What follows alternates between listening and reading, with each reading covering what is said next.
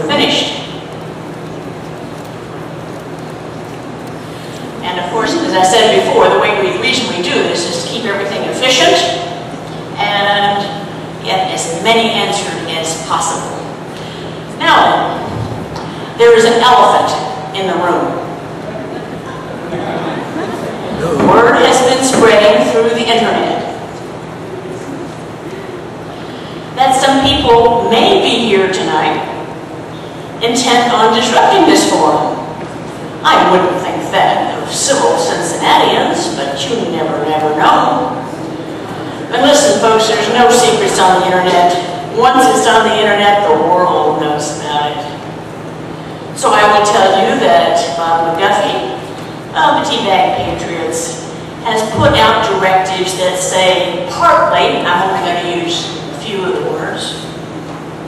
Be disruptive early and often. You need to block the vote early.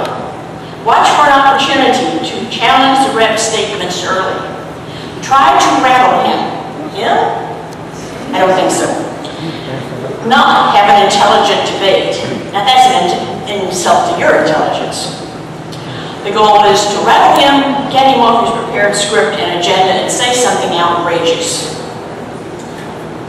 Well, folks, if any of you have such a rude and childish idea in the back of your heads, I would strongly suggest you think twice.